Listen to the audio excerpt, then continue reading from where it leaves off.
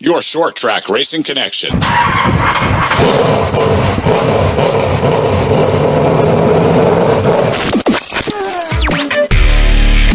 Broadcasting from the Fireside Beverage Studios. This is the Turn 4 Podcast. Look for us every Tuesday where all major podcasts are found. Like us on Facebook at Turn 4 Podcast. And now, DJ and Zack, take it away. Green, green, green. All right, Uncle Jer, we finally got you on the podcast. Little, little apprehensive. Yes, so. I'm not. I'm not a. I'm not a media kind of guy. Media. I'm surprised you call him Uncle Jer. I don't want him to call me my nickname that he has Oh, for me, okay, so it's all right. Uncle Jer today. That's fair. That's fair. You can call me the constant. Oh man. All right, so what year did you actually start behind the wheel of a race car? I know you've literally grown up at this racetrack, but what year, how old, and what year was it that you started racing? oh God, you're you're. I would say ninety eight or ninety nine. I can't remember exactly which year it was. I would say 98. 98, Yeah, Did you start in a street stock? street stock. I think they were called the super streets back then, or street stocks. I can't remember exactly. It was a Camaro. He forgot his Geritol this morning, so he's forgetting all of his stuff. Come on, man. Been here five minutes. Five minutes, and we're already firing it off. That's rude. What number were you when you first started? I was the zero one because uh, my brother Jim had been racing with my other uncle for I don't know three four years before that, and uh, he was the ten, and I always wanted to be like my older brother. Always had to be, so you just flip flop it. Yeah, and my well, my uncle, my uncle that built the car that I ran first, he had another car that was the ten. Yep. In that division, and my brother was in the late models, which was the division above Yep. street stocks. So, yep, I was a zero one, zero one hero. Zero one hero. Camaro. Yep, it was a Camaro. Um, it was actually the car that my brother started with that my uncle Todd had built for him, and then they had moved to the late models, and that that car got stuffed in the bushes. Then, um, my uncle Eric wanted um, we were going to build a mini stock, and then once we got to sitting down and figuring out what it was going to cost to build a mini stock and all that, he had all the parts to build street stock. So we ended up building the street stock rather than the mini stock. And Sounds like a conversation that was recently had at the at the Zullo race shop. yes, yes, it was. I, I, Can we? We can. We can touch on yeah, because it's that, it's right? public knowledge that he's registered at this point. So Yep, we, we um, my brother and I had the same conversation with my nephew. Um, my brother was going to build him a mini stock um, to go same as his pure stock, a Nissan, and he uh, we we had this conversation, and it was cheaper to build a late model. We were going to build him a Super Street, but um, the amount of cars in the Super Street division, as competitive as that is, we wanted him to get his feet wet in a division that had less cars. Um, more experienced drivers because I mean, you get some animals in the in the super streets. Me being one of them. at least he's honest though. Yeah, yeah. Yep. I thought they were filling me full of shit when I stopped over there. Well, Dylan's like, you should look at the Port City clip we got out there. I was like, okay. I'm like, there's no way. Yeah, that that was that was about when the conversation started. Yeah. That my brother had thrown it out on the table. I think that afternoon after you left. Yeah. he's like, he's like, yeah, thinking about going late moderation. I go, huh? What are you talking about? Because this whole time it was we're going up to mini stocks. And the whole time I'm thinking like, man, I don't know much, but Hayden Grenier was on here, and when he was talking about how much money he had tied up into his mini stock, I was like, it has to be the same, if not a little bit cheaper, to race in a different division, but still move up. So when he threw out the late models, I was like, ah, I mean, I don't know, if, you know, what total it would be, but it's got to be kind of close, maybe a little bit more expensive, I'd assume, right? Uh, it, to, if you're going with all brand new, late models would be a lot more expensive. Right. But where my brother and I, for 25 years, have raced street stocks, late models, we've acquired enough parts, pieces. We uh, the car that we put together, we dragged it out of the woods uh, right before Christmas, I think it was. Yeah, about a month ago now, probably. Yeah, about a month ago, and uh, dragged it out of the bushes, carried it down the road on my skid steer forks, brought it in his shop. And he Dylan sandblasted it. Jimmy and I spent the last couple weekends welding new bars in it, making it the way that we want because that's what we do. I mean, Yep. my when I well, I got out of racing, my driving myself back in 2000.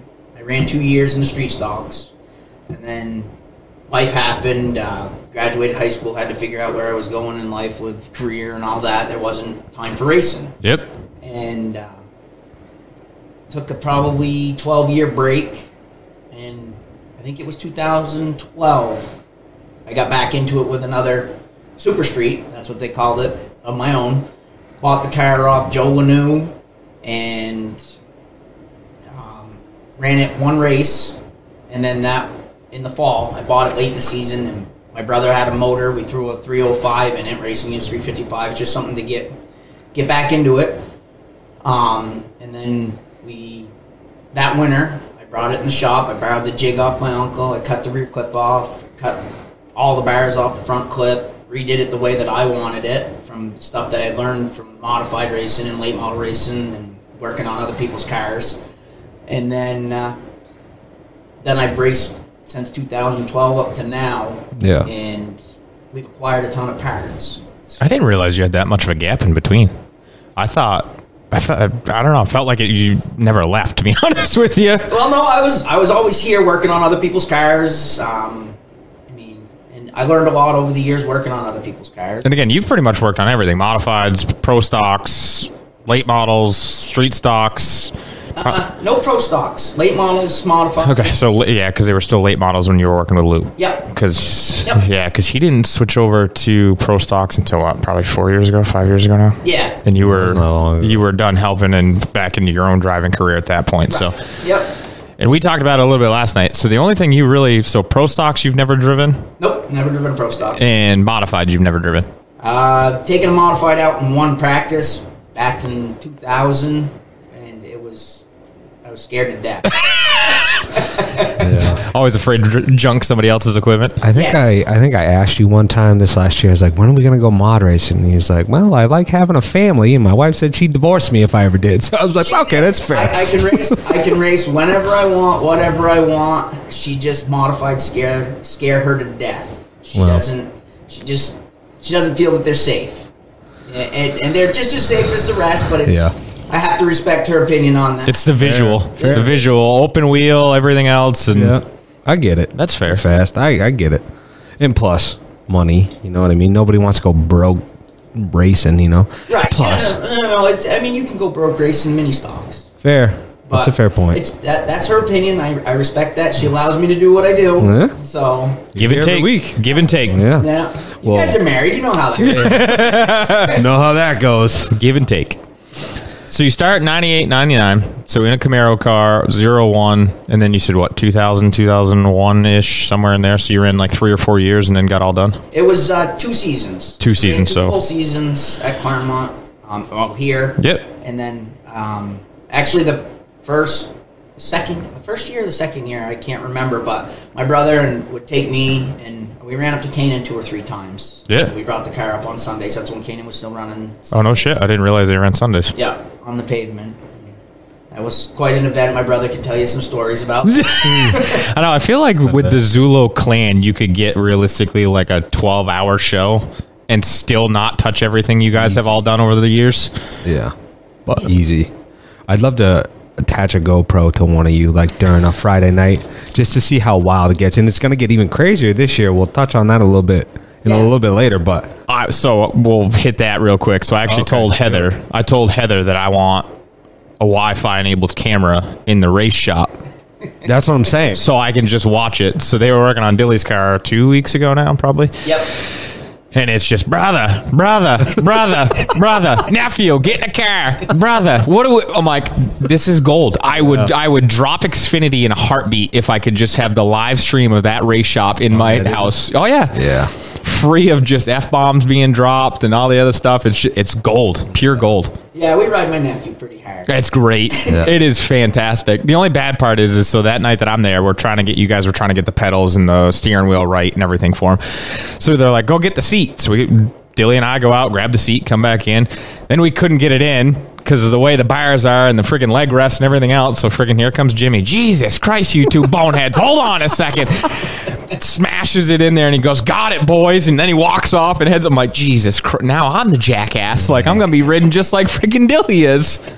I mean, anybody's subject to Oh, it doesn't matter. lashing when you walk into that shop. That shop or your guys' trailer, it doesn't. It's free game. You better have some thick skin. Yeah, my I brother's a little rougher than I am. That Pretty laid back. That's fair. you just got your one-liners every now and again. And it's just boop, got them. Yep. yeah. Usually that's when I hide. Time to go. So did you pick up any wins in your first couple years? I know it was, and I'm not saying that it's not stout competition now, My first but couple years, the first year, no. Um, back then, um, as a 15 year old kid, it was the 40 lap. The, the, the street stocks would run a 40 lap extra distance race.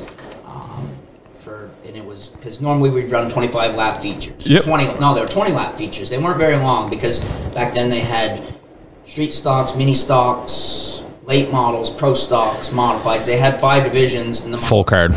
full card. So they would run 20 lap features for us, and then the, the big race was the 40 lap extra distance race. My first year, um, my brother had stopped racing halfway through the season. Um, some, some I can't even remember what happened or why he stopped. I think he had en- engine trouble or something like that. Yep. And so he he ended up because my uncle was busy with the other car that he owned that Nick Taylor drove. Okay. Yep. and um, so we ended up bringing the car that I was driving for my uncle up to my parents' house where I was living, and my brother was living at the time, and he kind of took over the crew chiefing and taking care of the car, and we ended up painting the car because it was a god awful maroon, god awful. Oh, it was ugly, ugly, but I didn't care. I was in a race car. Yeah. Yeah. I would have drove a wheelbarrow if they let me Absolutely. and uh, so um, he painted it, and then we uh, the forty lapper was that week. Brand new paint job. I had sucked all season long. Started on the pole for it. I led the first twenty three laps of the, the forty lapper, and that was the highlight of. Highlight of his. I thought I was God that night, and ended up getting getting spun out or spun myself out or something. Hit the wall and ended the night early, but it was a good time. Yeah. and that was. And then the second year, that winter, my brother built a brand new car. My father um, spent the long dollar and got us a good Hannaford racing engine Yep. that we blew up on practice day. Oh, Yikes. Jesus. And then um, Goodwin stood behind it, built us a built us another motor, and uh, I won one one feature that summer. And that was the highlight. Of I was gonna say. I bet that was big. that was big because back then you you had to six cars on a given night went home. I remember the, the year before, I I was the Consi winner like once. Yes. See, it's in his blood. Yeah, but every for the first five weeks I was in the oh, Consi, and sometimes we loaded the car and I didn't race that night. Yeah. Yeah. It was Which is tough as a rookie because seat time, seat time, seat time. Right, and I had I was only 15, so I'd never even driven a street car before. Oh. Didn't start in go karts, didn't do any of that. Just never driven a seat, street car or anything. It was Go to the racetrack. go to the racetrack, hop in a race car, and is this normal? Does this feel normal? I, Yeah, you lose your tight. I have no clue. am I oh, even going fast enough? Who I didn't know. It was wow. trial and error. I guess I would have just assumed you started like everybody else did at that period in time where you had to be 17, 18, 19. I wouldn't have guessed you started at 15. That's Yep, no, I was 15, and then the following year, like I said, we built a new car with one one a feature. Yep. It was the highlight of my career to that point. and then 12 year gap in between racing. Yep. And again, like so you, you said, at that point in time, you were helping out on a modified for a few years there. And then what year did you get, you and Luke get hooked up when you started helping him? Was that like 06, 07, somewhere around there? Oh, 08. Was it that? Yeah, started helping Luke in 08. Um, that was a lot of fun. We, we traveled a, a lot, went to a lot of races, and learned a lot there too. Because I mean, he bought a Crazy Horse car. We went up to Crazy Horse, learned a lot about setup from them, um, and just traveling different tracks, different setups, different um, how to make. I mean, try, how to compete, Yep. tires, tire management, all that stuff. And that was a cast of characters that you guys had on that team. oh yes. Because it was you, Luke, Yep. Chowder, Yep. John Harford. Yep. Chowder. Weld was on there for a while, wasn't he? Yeah, he helped out a little bit. Yeah. Oh yeah, we, we had a lot of fun. They had a lot of cronies back in the day. it was always it was always comical too. oh yes. Yep. So, what drove you to get back behind the wheel in the 2012 2011 era? Um, I had my own shop, had all the tools, decided that it was time to go do it on my own. Yep. So, bought the car, was just gonna dabble in it, and you guys all know. Everybody that races knows. As soon as you, uh, Once turns into twice, turns into a full season. yes, yes, it's kind of like um, this last winter. I told my wife I was, I was gonna drive the street stock when I could get out of work early enough. And He, you did well getting out early enough because I think you made every show. I know. I, I, I told her in the, in the springtime that I was going to run the car when I could get out of work early enough to do that. My brother was going to run it on the weeks that I couldn't. And I managed to make it every single week. You did. It's like, how amazing is that? She says. Because you had the 10Z and then the 10NH, depending on who was going to drive. right. And I don't think I ever saw the 10Z out there. Yeah, Yes. uh, once. Once? Yeah. Yeah, Jimmy drove it once. You were at a football game. Yep. My son Aiden plays high school football. That would be why I didn't see it. Because I was also. You were also at the same football game. the same football game. you coach. Yeah, yeah. you didn't turn around and see see the Consi winner standing behind you. Oh, to be fair, I'm, You don't turn around. Yeah. No, perfect. That's a good spot. Yeah. that was pretty good Yeah. So, uh, and fair, but and you, and again, so you called them. I know they were called super streets when you got back into it in 2012, but it was basically. Did you run an ACT the ACT late model here for a couple years too? Then was it after that? I ran the Super Street for two seasons, and then I, I wanted a late model. Yep. I don't know. Because you're a fool, but yeah, keep going. Yeah. Bought an ACT late model, sold the Super Street, which I wish I had never sold the car because I, I mean, I built the car myself pretty much, other than the center section, and it was a really fast car when I got rid of it, even when it wasn't cheated up. And then uh, it um, turned really good, handled really good, but like an idiot, I wanted to go faster. Sold that, bought an ACT late model. Struggled with that for a first season. Um, ended up selling that that car and uh, bought a fairly new distance late model and um, ran that for a couple years. We got we got a couple wins with it. Tried to tried to tour out. Made a couple tour shows. Got loaded up. Sent home from a couple tour shows because that's stout competition. yeah. And then uh, Is that the same one you took to Loudon? yep, same car I took to Loudon. I. You probably correct me if I'm wrong, but he would be the first driver we've had on that race. Nope, I didn't Loudon. race at Loudon. Nope. Nope, Well, You practiced. practice at Loudon. Yeah, ask, ask him about it. Well, that was, that's- I've I've heard different variations of this story from different people, so I wanted to hear from you. Okay. Uh, we went down to Loudon. Um, I've got I got a business. I've got three kids. Yeah. Got to get up, go to work on Monday. When you're zinging down the straightaway at what, 130 miles an hour, Yeah. it just wasn't for me. When you're going down the straightaway, you're thinking about work, your wife, your kids. All And the pro- and the problem is, is you have all that time down those straightaways to think about it. Big. You can tell yourself stories going down. the street. it, it just wasn't for me. I could never get comfortable enough to drive the car into the corner as deep as you needed to. Right. to even make it onto the speed charts. I, I, I forget her name, the girl that runs the ACT Tour. Tina? Tina. Yeah. I got out of the car after the, the mock heat races and I said, Tina, don't even bother sending me a letter if you want me to come down here because I'm not coming. this place isn't for me. Yeah. And the problem is, is like, like he said, so right, you got a business, you got kids, you got a wife, you got all that you got to be concerned about. So him saying you can't drive it in deep enough, I can remember going down there on a practice day and watching some of the guys from around here go, okay, hey, I'm lifting here, I think I'm doing pretty good. And then you watch a guy by the name of Patrick Laperle. Yeah.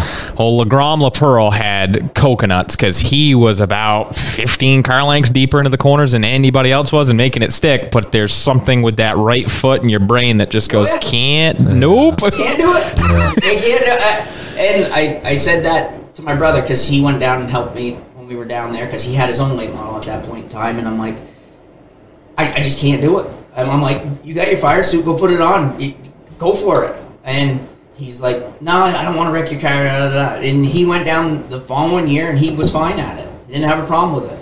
And but I can remember two years, three years prior to that, probably no, four years prior to that, because I was helping Luke on his athlete model, going down there with him. And I was spotting for him at the time. I'm like, Luke, you got to drive it in deeper. The guys are driving. He's like, I'm trying. I'm trying. And it's it's I don't know. We don't we don't get paid to do it. We're we're in our thirties at this point in time. Yeah. There's no chance of us ever going to NASCAR. it's Friday night Friday night thunder. There's- Yeah. I mean, if we had gone down there when we were 18, 19, 20 years old, Probably would have been fine. probably would have been perfectly fine because we had nothing to worry about. Right. And and there was always that dream that you might might make it Catch a ride somewhere. Right. Yeah. Which that's never going to happen anymore. So it's Yeah. it's Be like a dilly who's just got no fear. right. No fear, no consequences when you're behind the wheel of a race car. Because none of it comes out of his pocket. Yeah. My dad will fix it. Yeah. My uncle will fix it. to be fair, I mean, That's he's got two of the best that he can around here. So, Yeah. Right. yeah. And again, like, and like you just alluded to, so on the spotter stand, it's really easy to tell them that they got to drive it in deeper. You got to get on it. You got to get on it quicker. You got to j- just do this, do that. It is so goddamn easy when you have that headset on to tell them how to drive that race car. And it's weird because when you're because I was sitting up in the stands that day, and when you're watching when you're watching those guys go around, you're like, they don't look like they're going super. F- they don't look like they're going super fast because you're so high up, right? I'm like. Why? What's what's happening? Why is everybody falling? Because there's like the f- the front five or whatever are just Gone. rolling down there, dude, Yeah. rolling, and then everybody else is all spread out. I'm like, why can't? But then 130 miles an hour, man, I would be like, "Ooh, ooh." And I, I'm not. I'm not 100 percent positive. You're- that's what you're. You're probably close though. still. Yeah. Yeah, I mean, you got to be relatively in the ballpark, right? 130. That's, why the fast. Best, best race car drivers sit in the grandstands. Hey, hey, Anybody hey, drive man, anybody can drive from the grandstands. Clear. Yeah. right there. Why'd he do that? I'd have done this. oh, that's easy to say after the fact, there. It absolutely is. Yeah. And again, the best thing that you can do on like when they do that spring race with pass ACT and mini stocks and all. Again, we we went down, we sat up in the grandstands again. It looks like they're crawling right along. The best thing you can do is go stand on that white line right by the fence and let them Yeah. zing by you, and then you realize, ooh, Yeah, yeah, you're moving. They're they're motoring. Yep. And we watched some guys take some tough licks last year. And that's the problem, is you know, like your brother alluded to, getting behind the wheel of your car. You spin out and back it into the fence down there. That's a car. yeah. Oh yeah. That's that's not a clip. That's not like here or Monadnock or somewhere where we're like, ah, we're gonna bang out some body panels, maybe put a clip on it if it's real bad. That's a car. Oh yeah. That's it's junk. Dude, we watched that mini. I can't remember who it was, but we watched a mini stock down there last year. Absolutely, t- it was the barrels. Ray King Jr. Was it Ray? It was Ray. I wanted to say it was Yeah, Ray. he backed. He hit the rear quarter on him. He cleared those barrels. He hit so fucking hard. It was. I was like, oh my god. Yeah, and he was fine. Yeah, he was. Yeah, luckily he was fine. But I was like, and then Jimmy Renfro backed it into the fence too. Yeah. tore his fucking car up. I was like, we're tearing up a lot of equipment today, boys. But that's the, a lot and, of money. and that's the problem though. Is like you hate to say it. It's not even just like a Loudon or something like that. Sometimes those big races just group that together. Yeah. Again, you look at Buffon down at Dillon last weekend. He needs to put a clip on his car. Yeah. Hit the end of the front stretch wall Also, we got to check out that tow truck too. and the tow truck. He hit the tow truck. Oh, yeah, you- pictures. yeah. Smoked Yeah. it, dude. Almost killed that guy. Whoever that guy is that was standing next to the car. Athletic. I've never seen somebody move that fast, and his knees were to his chest, running away from that truck. You need to get that video so that way you can show your players next year. This is is- how you run, boys. Mobile man. But yeah, yeah. I mean, Sometimes those big races just bring it out in people. Oh yeah. how do how do you qual? I know how you qualify for that, but like, do you have to get invited down to that, or can you like Used to be. to go down? Used to be. How does when- that work? Back back when I was doing it, um, you had to um, show up to a certain number of A- ACT races, Right. And and try to race and race, and then you would get a letter to invite you down to practice. And Okay. then depending on how you did at practice, they selected the 24 cars that they were going to bring Okay. down to race. Okay. So All right. Now, where it's the first race of the year, if Uncle Jerry went and built one tonight, right. he could just go down a race. There's no invite only. So the invite, Really? yeah, the invite only used to be when it was Cup weekend in September every year when they'd run it on Friday night, Saturday morning, whatever they Saturday afternoon. Saturday afternoon. Yeah. Because that one year we ran into darkness issues where they finally shut it down. But that was the invite only. And then the last three years when they've done it in the April show at the beginning of the season, Which there's no NASCAR down there that week. correct, free game. Right, right, right. Yeah. But you've also seen over the 10 years that they've been down there, the first year it was 43 guys got invited and probably 20 some odd cars got left at home. Yeah. And it kind of, I don't want to say dwindles, but the allure of going down to Loudon kind of went away. Because again, you can allude to it. How much did practice day cost you, you think, roughly? Uh, about sixteen hundred dollars. Jesus Tires, fuel, Christ. pit passes For practice. Oh, we American Tire. I think we were running American Tires At the time, yeah. At the time, they they paid the car, the driver, the owner, and crew chief. They paid their way in, but anybody extra that wanted to go, they, they had to pay to get in. And then, um, uh, correct me if I'm wrong. I don't remember exactly, but I believe they paid for three, and then everybody else paid to get in. And Sounds like right- about right. Sixteen hundred dollars for Food. new bot. I mean, and at that point, I mean, it, I say sixteen hundred. That's just for the day, but at that point, to go down to Loudon, you put a brand new body on. Right. At that point, I think it was twenty two hundred bucks. yeah, I mean, we're talking almost ten years ago now. Yeah. Uh, yeah. Your new body. Gears, because I'm sure you guys didn't have those gears just laying around. No, yeah, you had to gears. Different springs that you didn't have laying around. So you're realistically probably for that one practice day when you figure in the body, which again you've you've used the body since then, so whatever. Yeah. But you're probably looking at a five thousand dollar day to get all the parts, pieces, the car ready, and everything just to go down there for a day. Yep. But we oh got my to play. God. And, You and got to race at Loudon. got to race it loud. And you got to feel like the big boys. You were in the garage Yeah. area. You Fair. unloaded your tools. Yeah, You were the show for the day. yeah. It, it was a lot of fun. I'd do it again. At at that age, not knowing, I would Yeah. definitely do it again. Yeah. It was a lot of fun. Well, that's interesting, guys. because I don't think you're the only one that didn't. No, there's there's, plenty, I There's, think, a, there's just- a bunch of people that are like, I'm a short track guy. Yep. You know, I'm not a I'm not a big track guy. Which There's nothing wrong with that yeah, though. nothing wrong with that. I like short tracks anyway. And uh, um, here to say it made me going down there when we came back. That we went down. It was on a Wednesday, I think. Wednesday or Thursday, yeah. Wednesday or Thursday. We raced Friday nights. Yeah. Brought the late model back, switched it back over. We didn't change the body because we knew we weren't going back to that. Just the new body on it. And I came back here and, and mopped the field up in Yeah. the late model feature that night. I mean, there was only back then there was only ten ACT late, late models here, but starting near the back, and I, I, I, I mopped the field up that night. I, I passed everybody, I think, and won by uh, I don't know five ten car lengths. Just going to Loudon, not driving it in deep enough at Loudon, but taught me how to drive it in deeper at Claremont. Better car control. Right. You, you pick the throttle. up, It, it's the concept of speed Yeah. you have. Not um, wrong. yeah, kind of like the iron sharpens iron type of deal. It's like Yep. if it's too hard, well, it's probably good because it's going to make you better somewhere else. Right. Yeah, yeah, that's fair. All right, let's take a quick commercial break. Apex Racing, located at 972 West Swanzey Road in Swanzey, New Hampshire, wants to remind you that their doors remain open Monday through Friday from 10 a.m. to 6 p.m. And don't forget that Apex Racing is a Spafco race chassis dealer. Apex Racing is product from All Star Performance, Wilwood, Sweet, Quartermaster, Powermaster, Longacre, Campfire Suit, helmets, Hans devices, and much, much more. Apex Racing we'll see you in Victory Lane. All right, so you kind of alluded to a championship might have been taken away from you there. Oh boy, DJ's been waiting for weeks to talk to you about this. So we, you were in a super street at the time. Yes. You won quite a few races that summer. Did fairly well. Yes. And then come to championship night, you were the championship man on the racetrack. I was a champion for all of. 20 minutes? Yeah, we'll go with 20 minutes. 20 minutes. Best 20 minutes ever. All the way to tech. Then we went to tech. And they found a carburetor that I had put on because it was championship night. Um, this, this is a long story because, and I hope you're ready for this. I'm listen. we got time, Yeah, we got Jerry. time. it goes all the way back into June, July of, of the race season. Um, Dickel Plant was race director, and we were racing against uh, John Meany he was in the division. My brother was in the division. Craig Smith, Ben Poland.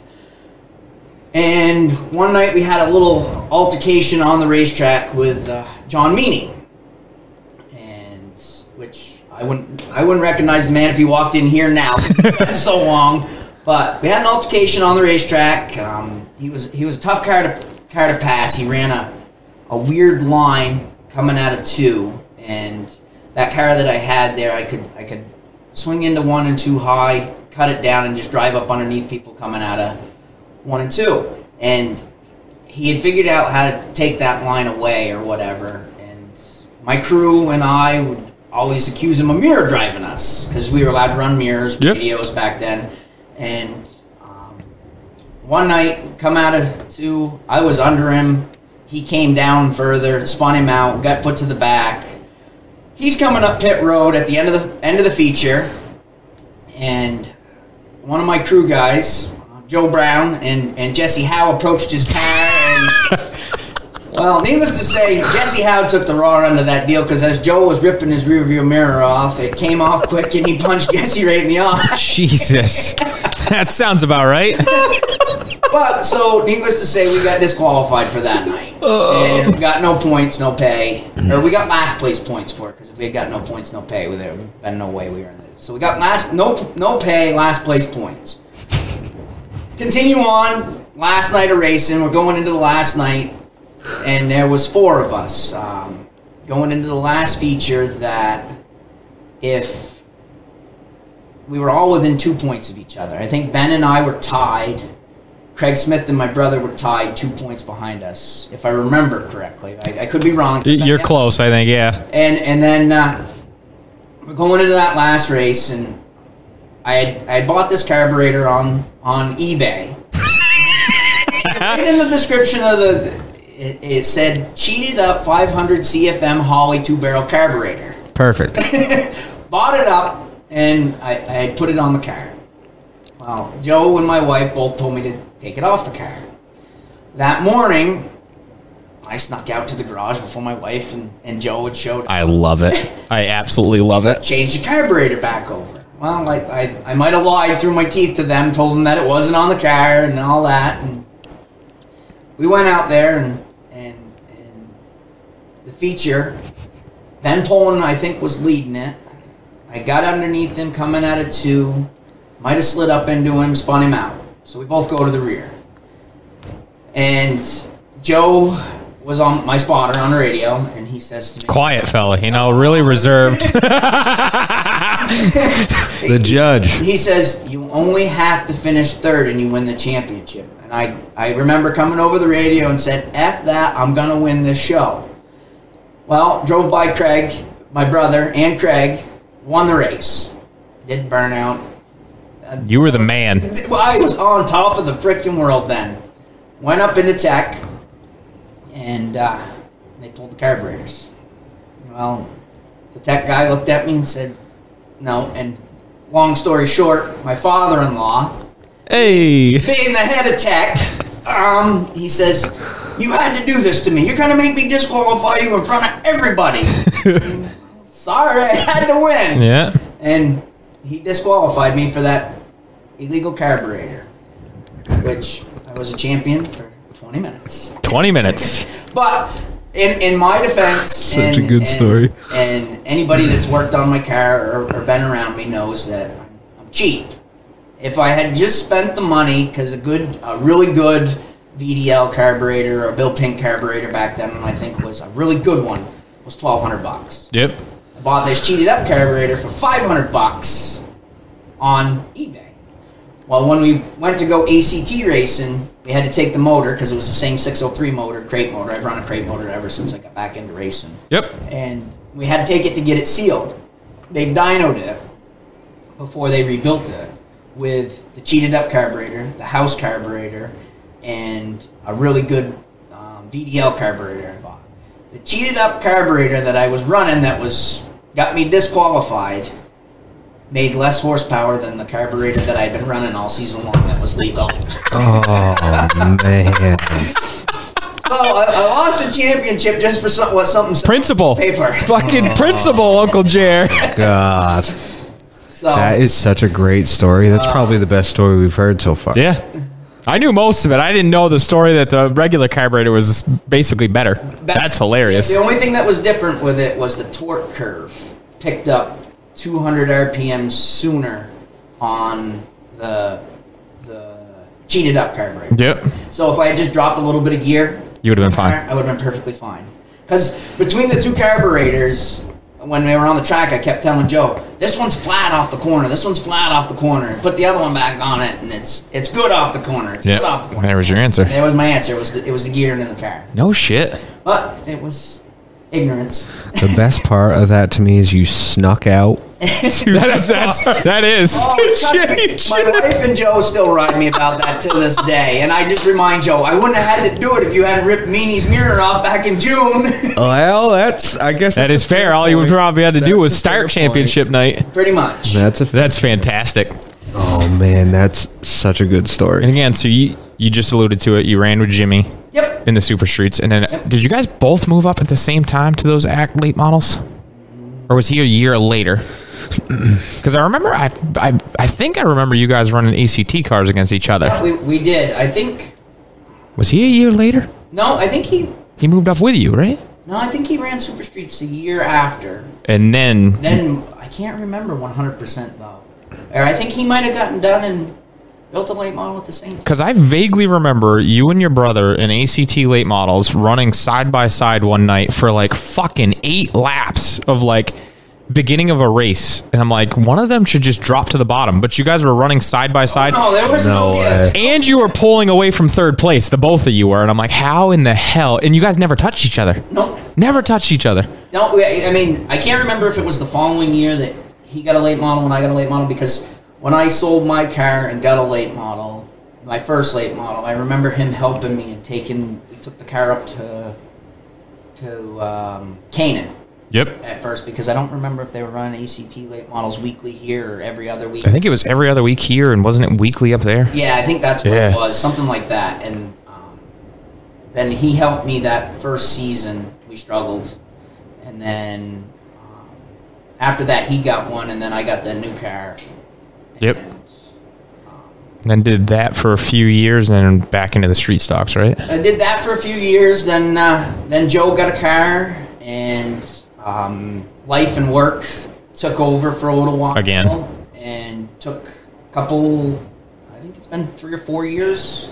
Yep. four, I think it was four years that I took off before this past season racing. Just You did win one and judge the judge's car though, didn't you? Here? yeah, um, he had run. Yeah. He had run pretty much most of the season, and then there was an open show or something Late in the season. late in the season, and he said, "You take the car out."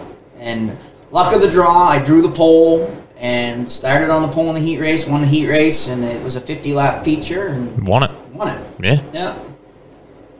So what happened to that?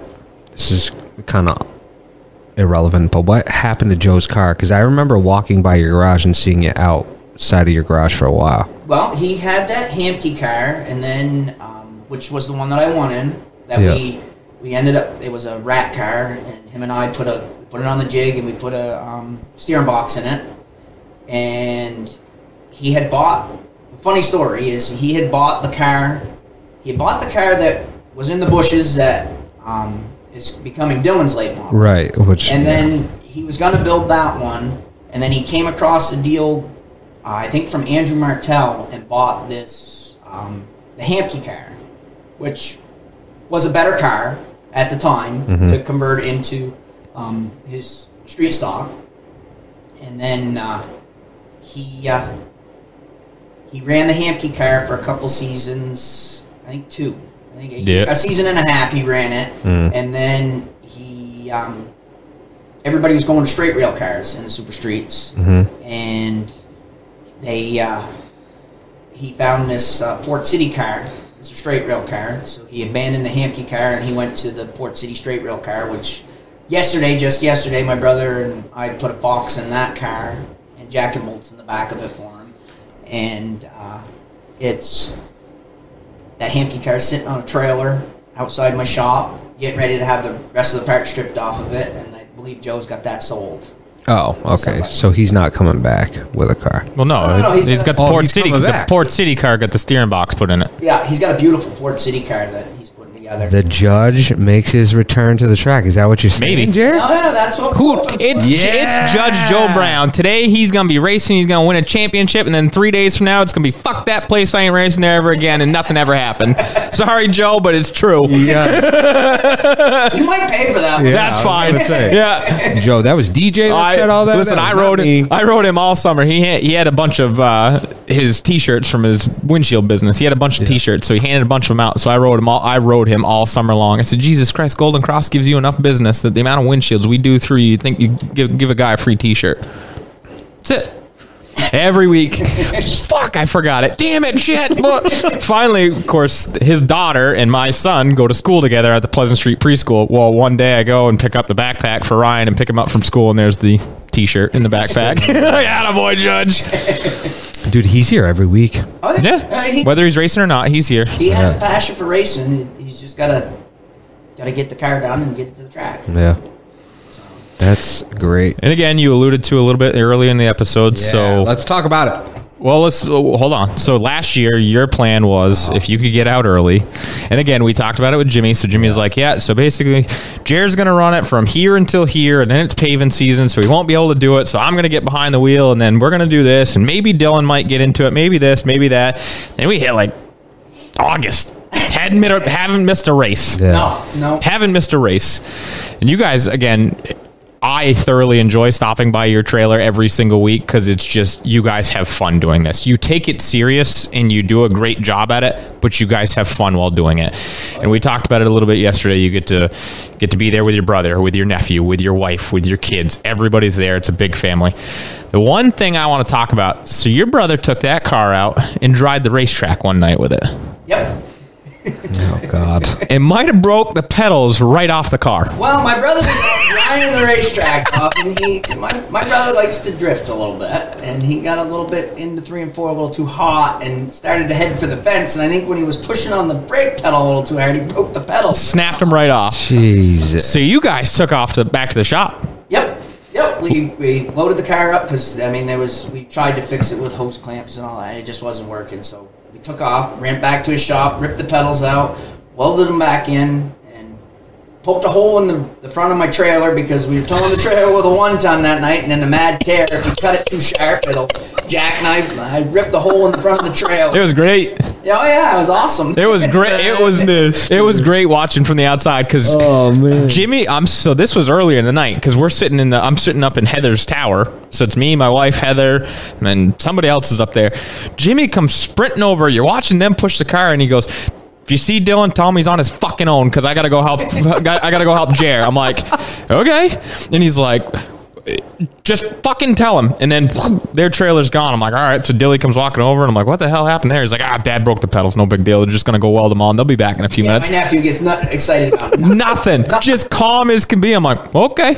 And then all of a sudden, here comes Uncle Jer, cranks that thing right back in the spot, puts a hole in the trailer. They unload. I'm like, holy smokes. Yikes. And, and the worst part about it is that my nephew comes over and he says, "Hey, Uncle Jared, you know, if you cut it too sharp with the one ton, you're gonna hit the front of the trailer." Because on the way to the racetrack, he was driving the one ton, and I'm like, "Hey, you want to make sure you don't take cut too sharp." with your-" oh, What a troll! Yeah, instant karma right there. A troll. Got him. Oh man. Uncle Jared, run your mouth.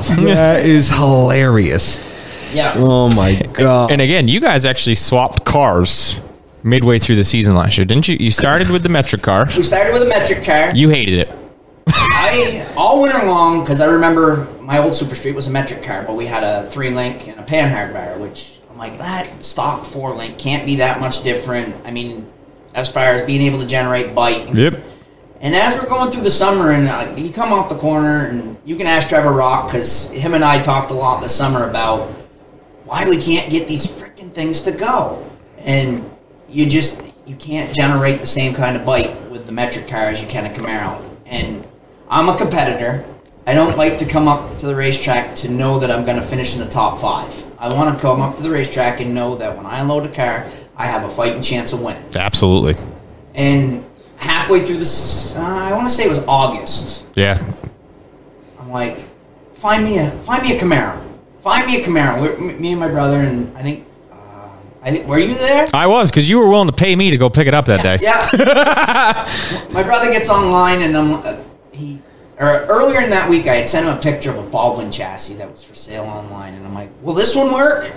And he's like, "No, no, no." And I think he just wanted to finish the season out with the metric car. Oh, he did bad. He knew he knew this winter we were building a brand new Camaro, and I'm like, I am not suffering the rest of the season. And we were down there, we were working on the car or whatever. We had done, just got done doing a setup on the metric car, changed everything like we did every freaking week. I mean, we I, I put more springs in that car than I've ever put tour racing in a car. Changing springs, changing angles, changing this, and still could not get that car to go. We got it close, but we were just never. I mean, a 15.3 I think was the best time I ever cut with that car. yeah. Oh, Uh, 16 16.3, yeah. 16 threes. And finally, that we we were standing there shooting the shit, and he's on uh, Facebook Marketplace. He's like, "Well, here's one, twenty five hundred bucks. It's That's the day I was there. it, it's it's in Maine." I'm like, "Perfect. Who, who's going?" And He looks at me and he's like, "Can you go?" I'm like, "I no." family vacation. I'm like, "What's more important, family vacation or me winning a race?" Fair point. Fair point. family vacation. Yeah. Family vacation did I ended up having my uncle the next day go up, five hour ride to which was the problem. It was, it was a five hour one way. He left Yuck. at, he he flagged for me all day because for my paving company he he um, does the traffic control for us. Flagged all day until about noontime. We only had a small road to do that day. Flagged all day until noon, and then he headed to Maine. And he picked the car up. I think he got back at like two o'clock in the morning with the car. That weekend, that Friday night, we ran the metric car because that was on a Thursday, I think it Yep. was. And um, we ran the metric car, and You you had the following week off from racing. The street stocks were somewhere for the Battle of the Belt. Yep, street stocks were somewhere for the Battle of the Belt, and but that weekend, my brother and Josh, I ended up taking the family and we went out to camp, and uh, my brother and Josh got the motor in it, got it pretty much ready to go. I think we did the setup on it Monday or Tuesday night, and then Wednesday we came up and we to shake it down, practice it. Went out there in the Camaro, and I came in from the racetrack and I got out and I said to my brother, I said, "Why the hell have you been punishing me all summer long?" it, it's just a, it's a completely different animal to drive. Yeah. It's, it's and we ended up ended up finishing third, I think, once or twice. Led a bunch of laps, won a couple heat races, and this car compared to what a new one is going to be is this car was pretty much similar to what I started back in '98 with. Really? Yeah. So the the technology and stuff that'll be in the new car, we should be able to to, to compete fairly well. Nice. And so now we'll come up to this winter. So now you and Jimmy are building a brand new car for you, Yep, brand new. brand new. It's on the jig now. It's on the jig. I was gonna say it is on the jig now because I was there yesterday. Yep. So you're doing that. Dilly's getting his late model sportsman together. Yep. Your daughter, Beaner. Yep. Beaner's getting Dilly's championship car, um, which she's excited about, and then um, my son is getting Aiden. a new car that Jimmy's gonna build for him. Oh, Brandon, that so The silver Nissan that my brother has sent. Okay. up. We're gonna put a cage in that for Aiden. So nice. he'll have a brand new car. Him and him and Chloe will be in the same division, and What's Mama think of that? Mama's stressed. Mama's got to be stressed for Beaner. Bet. No, Mama's stressed for all. she's she's just. Uh, my wife's a very nervous person. That hence along the line why I'm not allowed to have it modified. Yeah, fair. Yeah. and she's she's very stressed with with all of them. I, I don't I don't think she watches much of the races. No. Pa- paces a lot. Paces a lot, and as soon as something happens, we do this. Close her eyes. She closes her eyes, covers her eyes up, or whoever's sitting beside her gets a really the desk squeeze. Yeah. So. Yeah. So four cars Four going to come out of the Zullo stable. Four cars coming out of the Zullo stables. Um, I don't know if my brother knows what he signed himself up for. Yeah. He loves it. Oh, yeah. As much as he bitches and pisses and moans about it and grumbles and friggin' plays like the Grinch, he friggin' loves it. Oh yeah, he lives for it. That's that's gonna be wild on Friday night. Oh, yeah. There's gonna be so many moving parts. Oh yeah. Yeah, three divisions, four cars. Yeah. And it is so f- are all four cars running full seasons? Yeah. Or is it Uh, well, three out of the four, right? Because Aiden will have football if he Yeah. chooses so Yeah. in the fall. fair? Fair, fair, But fair. once football season starts, Aiden. I mean, if we can work around the schedule, he'll race when he can. Yeah. Once football starts. Yeah. But the other three will. It's gonna be wild, man. If the cars live that long. We're looking. Yeah, that's fair too. That's fair. So too. listen, I, I'm going to throw Dilly under the bus here for a second. So Dilly's famous thing right now is you want to go halves. You want to go thirds. You want to go halves. You want to go thirds. You want to go halves. So I was winding all them up probably two, three weeks ago, and I'm sending them stackers from Facebook Marketplace. Hey, you guys need this. It'll fit two or three cars in it. Finally, Jimmy texts me and he goes, "Unless you're fucking going quarters with this, stop it." all right. Yep. I'm all done. The funny, funny thing is though, the halves on the on the late model is, uh, they, there's my brother's half, my half, and there's no half of Dilly. Turns out thirds isn't going so well for that one, huh? Oh no, That's funny. it's all good. We do it because we love it. We don't do it. Yeah, absolutely. Yeah, because you ain't gonna make money. No, Yeah. God no. So my big question then, my last burning question for you, is it going to stay the 10 New Hampshire or are you going to go back to the 46? It's gonna stay the ten. It will? Family, family number. All right, Yeah. huh?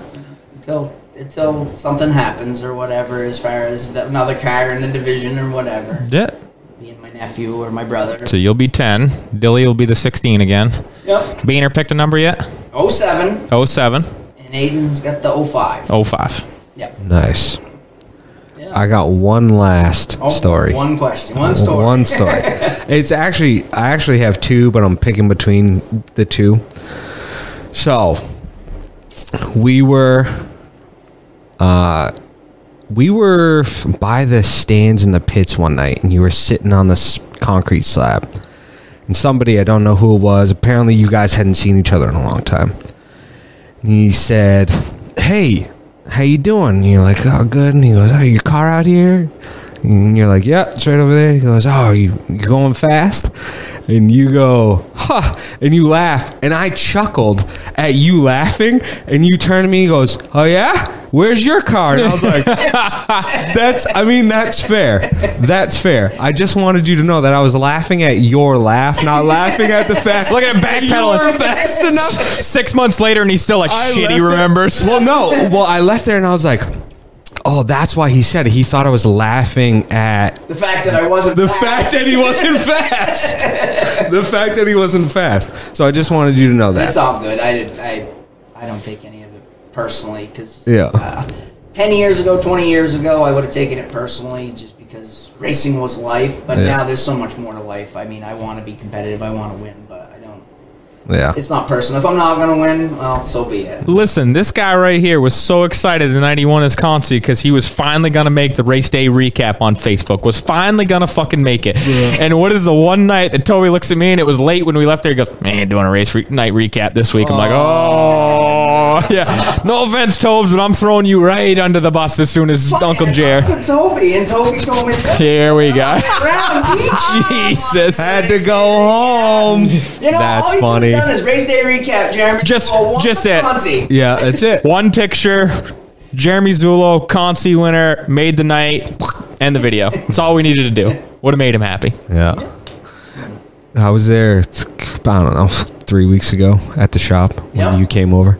And you're like, God damn it, I'm going to make that race day recap one way or another. I was like, all right, Uncle Jer. If you can't win the show, you got to be the show. Well, I was a show a couple. you were. Listen, there was a there was a we don't have to go super deep into it, but this was kind of my other story. There was a squabble between you and another racer. Oh, That Riendeau. no no no no no no no no, that, that, not not that one. Okay, so there was a couple. That's not the one I was thinking about. Where he had made a lot of people mad that night. This particular racer, and all of a sudden, I look at that car, and there's a line of people waiting to talk to this particular racer. this season. Yeah, this Okay, season. yeah, Yeah, yeah. so you know who I'm talking about. Yeah. Okay. Yeah. And behind you stands the entire Zullo family. the entire Zullo family. I go, oh boy. And this particular driver, it's, I, I was like, if anything's going to happen, it could potentially come between these, but with this driver and everybody else. And they went up one side of him, down the other, and Jimmy was screaming at him. Apparently, he had some gears in his car or Yeah, something like yeah, that. yeah. And Dylan, as he's walking away to screen someone, was like, "Oh boy!" And I waited. I waited. Nothing happened. Thank God, because I feel like that would have been a That would have been a mess. That would have been a And mess. 20 years ago, probably with my brother and I, 20, It would have been a mess. It mess. would have been a mess, Yeah. but as as we've gotten older, I mean, it would have just been a complete mess. Yeah. but we, as we've gotten older and learned that racing isn't everything, Yeah. there's, there's other parts of life that we we don't tend to get in fistfights anymore. Or Thank God for squabbles that. or Anything like that. I mean. Uh, it- perfect example allude to the other story that you were talking about. dude. That was a, that was a wild story. Uh, what was it? Well, so when I had the late model, so we're talking 10, 11, 12, 2011, 12. Yep. Mm-hmm. Chris Riendeau had been running the ACT Tour, showed up. I think he would run Claremont quite a bit, but he was in and out or whatever. And um, we were racing feature. I had gone by him either inside, outside, I don't remember, but I had passed him clean. Coming out of two, and in my opinion, he just flat out dumped me because I passed him clean. Yep. Well, I had a little bit of a temper. or temper tantrum, we can say. 'cause When they threw the caution and they were lining cars up on the front stretch, I proceeded to drive in front of him, snap the car in reverse, and back over the finish race. That's awesome. Oh my god. Yeah, I had a, I, I used that, but then it, that cost me some money. Yeah. I've learned. Yeah. How did how did that go over? Not very good. Yeah, not very We're good, in the pit area though, we parked the cars, and there was some hollering, some screaming. And Yeah. That was about the end of it. I think can't remember if we got no, we didn't get a week off for that. Because Yeah. at that point, I think they only had eight, nine. Couldn't afford to give you a week off. Oh, Or yeah. to give two of us a week off. All right. And we have five cars. Dude, this place. I love this place so much. Brings out the best in it. It does. It does. Dude, I love it. Oh man. Yeah. But out of all the racing facilities, because I've been to almost every one in New England, this is one of the better as far as the way it's set up, Yeah. type of deals. It's nice. It's a nice facility. It really is. It is. Yeah. And the improvements they're making around here are really, really going to help out with the scoreboard. Going to be up this year. I wasn't touching it. I weren't touching it. It'll be up this year, I hope. Uh, As far as my part, my brother's part will be done this year. Yeah, Perfect. Yeah. I think that's a perfect spot to end it. Uncle Jer, thanks for Thank you for thanks for popping on, on. man. Appreciate no it. problem. Thank you. Oh, great. Would like to take a moment and thank you for listening to this week's episode of the Turn 4 podcast. Have a question, comment, or query? We would love to hear from you. Reach out to us today at our Facebook page, Turn 4 Podcast. And until next week, we'll see you at the racetrack.